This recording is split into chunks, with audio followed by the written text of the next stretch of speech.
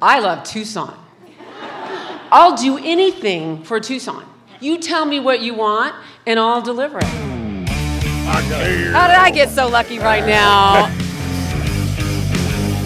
well, you know, sometimes when you want to find magic, you got to go off the beaten path.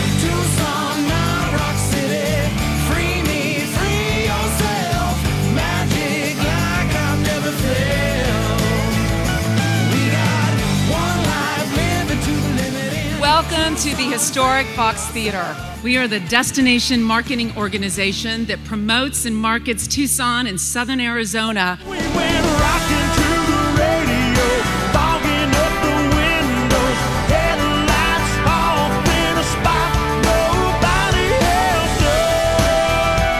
knows. We actually met Allison and the team at Visit Tucson during the Like a Cowboy music video shoot.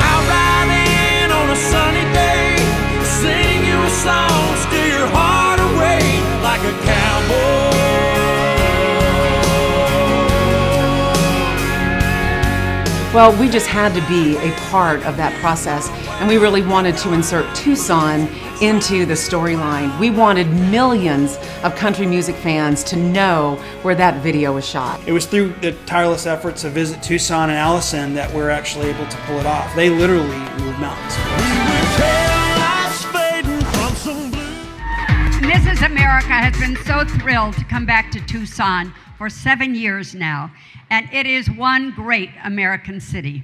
No one knows that any better than the Vice President of Marketing.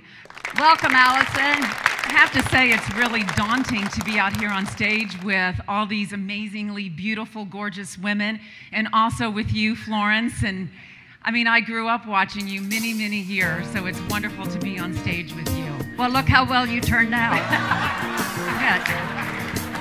And we believe that video is a powerful way for us to really sell this experience. The brand is a value proposition that's going to serve us for many years to come. Top of the world, top of the world, yeah, yeah, yeah. 34% of all active travelers in America, as of two months ago, said they have interest in coming to this destination. Now take a deep breath. That's four points higher than the comparable number that we recorded in 2015. Allison and company deserve a wonderful round of applause.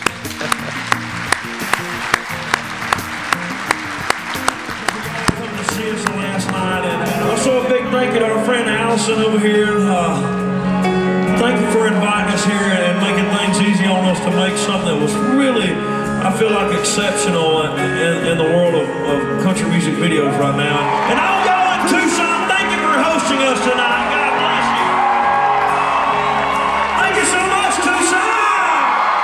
You know, we're all about telling a story and attempting to make a, a, magical connection with the audiences that we're talking to. So this has been a remarkable experience, and uh, quite frankly, it's just been top of the world.